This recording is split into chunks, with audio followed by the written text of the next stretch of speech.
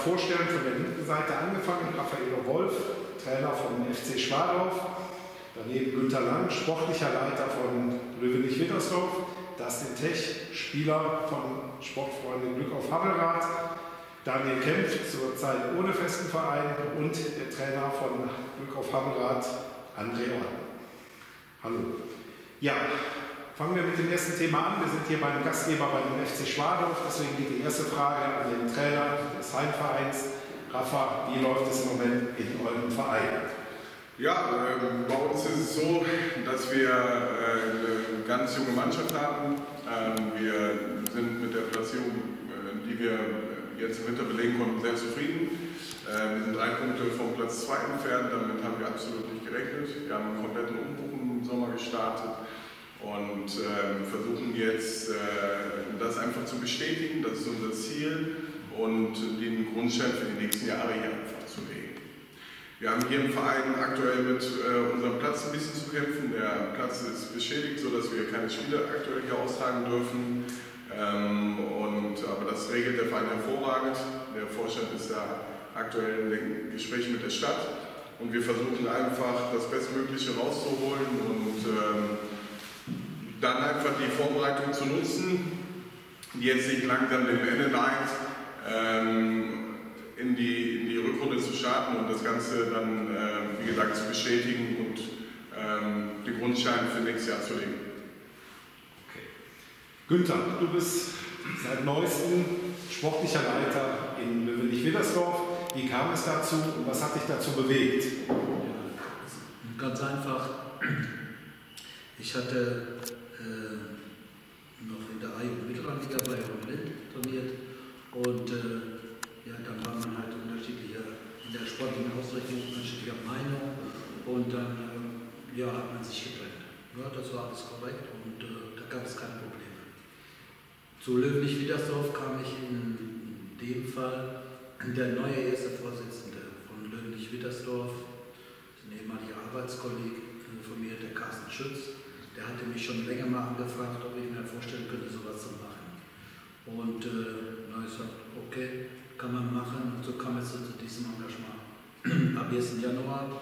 Und äh, meine Aufgabe als sportlicher Leiter, ich kann auch ein bisschen was sagen äh, zur ersten Mannschaft. Löwenich-Wittersdorf ist ein ja, schlafender Riese im Kölner Westen, sagt man so schön. 2520 Mitglieder, ja, eine sehr große äh, Fußballabteilung und acht Nebenabteilungen, was heißt Nebenabteilung, auch entsprechende Abteilungen mit ca. 30 Unterabteilungen. Da gibt es alles von Wohl bis und.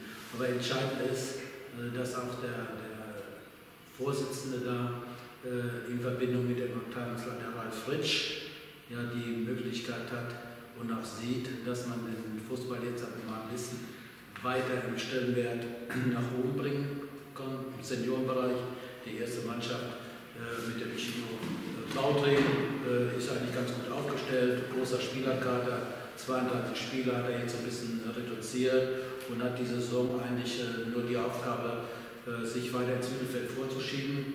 Das schafft er auch. Ein guter Trainer, äh, da gibt es für mich keine Probleme. Nur die nächste Saison wird dann für ihn ein bisschen anstrengender. Wir haben Präsidenten mit Visionen, wie man so schön sagt. Da muss ein bisschen die nächste Klasse her, würde ich mal so sagen. Ne? Das ist schon, das weiß auch der Chino und dementsprechend hat er jetzt die Zeit, sich äh, zu arbeiten. Und äh, ansonsten arbeite ich da im, im Jugendbereich, äh, spezieller sportlicher Leiter. Äh, ja, da ist das Schwerpunkt die, die Ausbildung der Jugendlichen und vor allen Dingen erstmal die Ausbildung der Trainer. Momentan mache ich, mache ich mir so ein Bild, ja, bin beim Training dabei, schau mal die Dings an, sprich mit den Trainern und so, weil man muss ja auch ein bisschen einen Plan für die neue Saison. Jetzt tut sich da nichts mehr.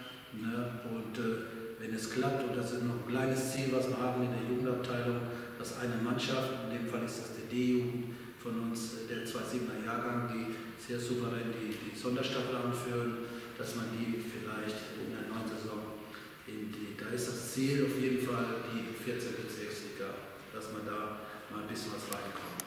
Man muss das sich auch so vorstellen, im unteren Bereich Löwenich-Wittersdorf ist bedingt natürlich durch das Neubaugebiet auch äh, einen hohen, sehr hohen Zulauf, auch in der Fußballspiele.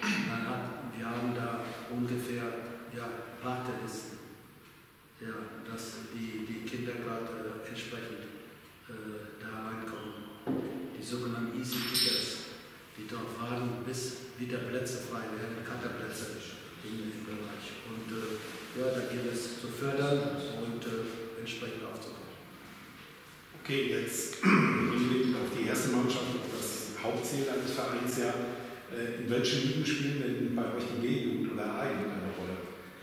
Die B-Jugend, die A-Jugend, wir haben zwar eine riesen Jugendabteilung mit 33 Mannschaften, aber es gibt keine A-Jugend. Das ist ein, ein Ziel, äh, das auch äh, für die neuen Saison angegangen wird. Und, aber gerade in dem Bereich ist es immer ein bisschen schwierig, das wissen die, die dritten Kollegen hier auch. Da erstmal Jungs zu aktivieren, die dann in der Reihe haben. Wenn du jetzt in mit 60er hättest, oder das wäre kein Problem. Aber entscheidend ist, äh, ist noch keine da. Trotz 33 Mannschaften ist das ein Ziel, da aufzubauen und äh, das schaffen wir auch, glaube ich schon. Okay. Ansonsten die, die B-Jugend spielt Sonderstaffel, äh, die C-Jugend spielt Sonderstaffel, die D-Jugend äh, spielt Sonderstaffel die sind in der höchsten Staffel des Kreises, sind die, die Jungs vertreten. Ne? Und das ist, ist schon mal eine gute Grundlage. Okay. Ja, das sind Spieler, äh, alles zu dem Team oder zu den Aufgaben und Zielen werde ich gleich deinen Trainer fragen, aber du bist Spieler. Wie zufrieden bist du bis jetzt mit der Vorbereitung, die ihr getroffen oder die ihr jetzt praktisch absolviert habt? Es geht ja bald los. Wie ist deine persönliche Einschätzung? Ja, die Vorbereitung läuft bis, bisher relativ schleppend, das muss man schon so deutlich sagen. Ich glaube, da kann der André dann auch gleich ein bisschen tiefer reingehen oder ein bisschen mehr zu sagen. Ähm, ja, wir haben halt das Problem, dass wir ähm, am Ende der Hinrunde ähm, endlich mal den Kader beisammen hatten. Die ganzen Verletzten kamen dann irgendwann zurück. Da hatten wir eine gute Serie, oder viermal in Folge zu null begonnen. Ähm, und dann hat es sich jetzt irgendwie am Anfang der Vorbereitung wieder so eingeschleppt. Ähm, ein Verletzter, einer ist im Urlaub, ähm, der eine hat, äh, weiß ich nicht, Geburtstag von irgendwem.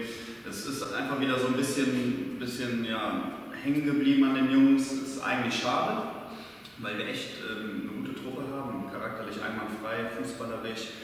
Ähm, nichtsdestotrotz müssen wir da uns ein bisschen ja, mehr zusammenreißen, zusammenkneifen, dass wir das ein bisschen professioneller angehen, auch wenn es Amateurfußball ist. Ja, Daniel Kempf. Daniel, du warst bis zum Winter sportlicher Leiter bei Klotig Zülpich.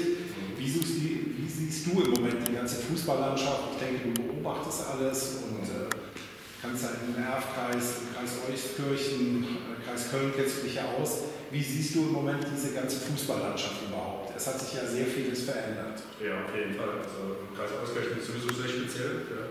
Kleiner Kreis. Ähm, ähm, ich sage jetzt auch mal, äh, von den Staffeln her deutlich kleiner als Erdkreis oder Köln. Ähm, ähm, Schwerpunkt A-Jugend habe ich jetzt in den letzten zwei Jahren äh, 19 in Zürich äh, auch miterlebt. Ja.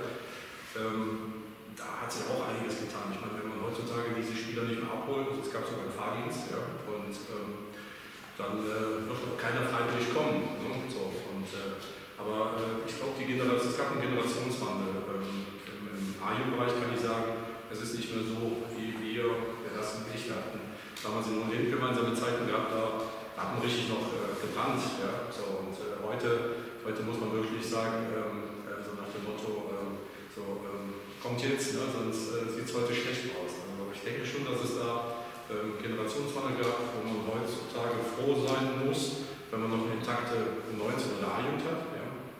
Und äh, ich denke einfach, äh, und dann auch den, den Übergang zu den, Senior, zu den Senioren ist, äh, ist auch nicht mehr so, wie es, glaube ich, früher gewesen ist. Ich glaube, die Seniorentrainer haben auch heutzutage mit Zuverlässigkeit, Einstellung, ja, Disziplin auch ein Problem. Wenn so junge Spieler da zum, zum Probetraining kommen, ja, äh, die kommen dann einmal und äh, beim zweiten Mal fragen sie sich schon, äh, ähm, muss ich denn auch noch mal hin? Ja? Also ich denke schon, dass es da einige Veränderungen gibt. Ja, ja André, sind wir bei deinem Verein. Ähm, du spielst mittlerweile selber wieder. Die haben dich zweimal gefilmt und du hast zweimal sogar ein Tor geschossen. Ähm, wie kam es dazu, dass du wieder spielst und wie bist du mit der äh, Situation deiner Mannschaft in Kanada zufrieden? Zu meiner Situation jetzt als Spieler, ähm, wir haben uns äh, ein paar Mal aus der Mannschaft zusammengesetzt, da wir äh, sehr viele Verletzte hatten, wie der das noch eben berichtet hatte. Ähm, daraufhin haben wir mich halt angemeldet, eigentlich so ein bisschen als Notlösung, wenn wir zu wenig Mann sind, dass ich mich dann ja, von der Bank aus immer wieder mal vielleicht reinbringen könnte, was eigentlich mehr mein Anspruch ist, wenn ich ehrlich bin. Ähm, dann kam halt die Vorbereitung, ne, wo das ja auch eben gesagt hat, dass wir immer relativ wenige waren. Durch Urlaub, wir haben halt viele Studenten, ne, die nicht aus Köln kommen, die fahren dann in die Heimat. Äh, der eine fährt dann mitten in der äh, Vorbereitung zwei Wochen irgendwie in Sport das, das summiert sich dann immer wieder, so dass wir bei den Testspielen immer wieder, ich meine, du hast das ja selber mitbekommen, in, äh, in Flittert, da waren wir auch nur zu 13 Mann, dass wir immer wieder ja, eine geringe Anzahl von Spielern hatten. So ich natürlich dann immer wieder irgendwie doch wieder reingerutscht bin ins Spielerische und ähm, ja, aus der Mannschaft kommt halt,